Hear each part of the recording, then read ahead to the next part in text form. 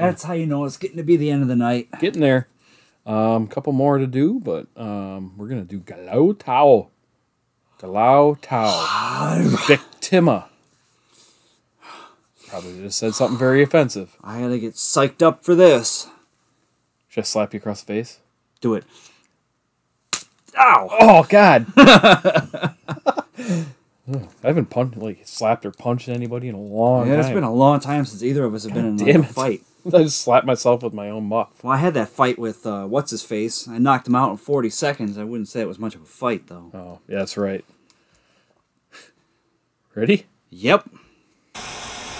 This better not suck.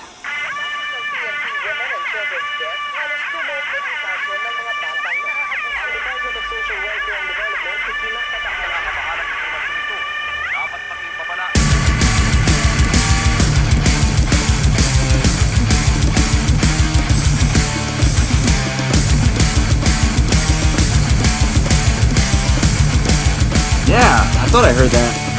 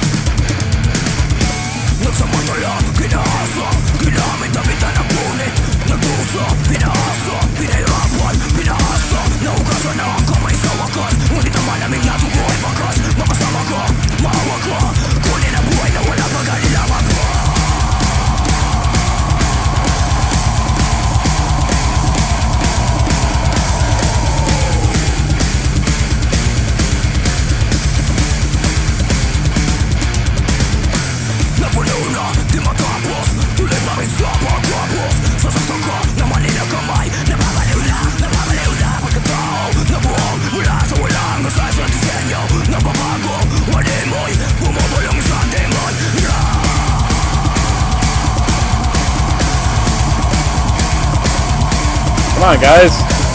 Yeah.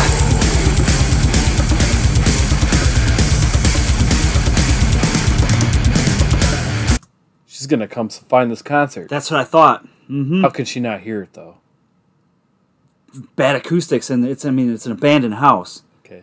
It wasn't very abandoned though because there was a Range Rover like parked right out there. She was like right next to it, and I'm like abandoned my ass. Was that guy's like, "Come on, guys." Yeah. That's what it said. I'm guessing.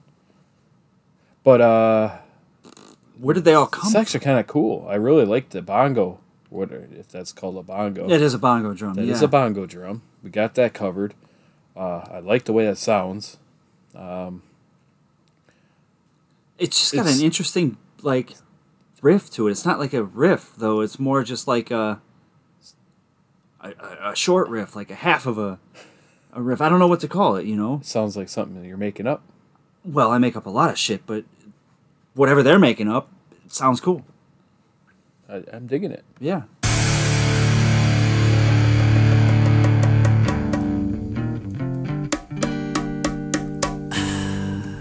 He just took a drink of pop.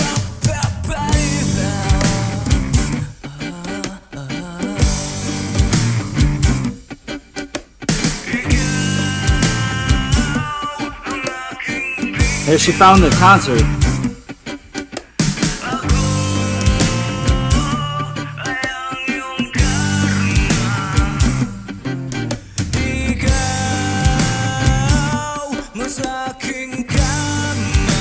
Putting on the smolder.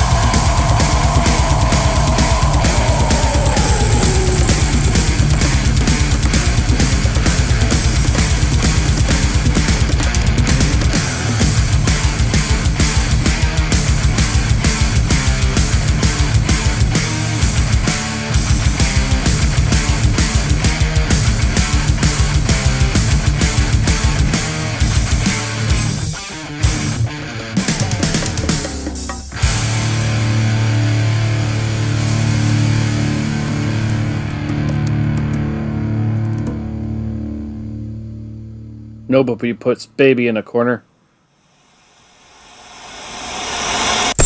Well, that was She was pissed. She got lost in the house because she didn't like the reggae interlude. that was weird. It was like way out right field. Yeah, no idea. Uh, interesting that I've I've never heard like that like uh, like a reggae or like an island beat kind of a sound like a uh, you know like a like a samba. I don't know what the hell you call it. You're just making up shit. It at first it, I didn't like it. It was too slow and it didn't sound like I'm talking about just that that The the, breakdown, the medium medium the middle part the meat, the the reggae ham. interlude. Let's call it the reggae the interlude. ham. I'm gonna. mhm. Anyways, steak. fuck you. Um, I know what you're saying. I honestly, I didn't really care for that part that much. But when well, it, it just kind of threw the whole song off. but when it picked up in tempo, I liked it better. It didn't necessarily fit, in my opinion, but it was sort of well done in its own right. Like, just for if that had been its own separate song, that would have been cool. But I give him credit for not doing something normal, or, or, or formulaic or stereotypical with the breakdown. It was it was completely different and t- sounded original. Hey, it got her thinking, right? I think she didn't like it, and she walked out and got lost in that house. Is that's what happened. She's like, "Uh." She's like, ah, this isn't the guy I came to. You notice they all of a sudden like they all have a face paint on. It's like yeah, all I of a don't know sudden, where that came from. They all had face paint on. Maybe they were celebrating like the Day of the Dead or something. Hmm. Well, none of the band members took her home. Nope. He was trying his damnedest, giving her the eyes and everything, and she she wandered off. All right, we're gonna check out and uh, do one more at least. well, um, how about everybody? The night closes in. The night closes in. Bye.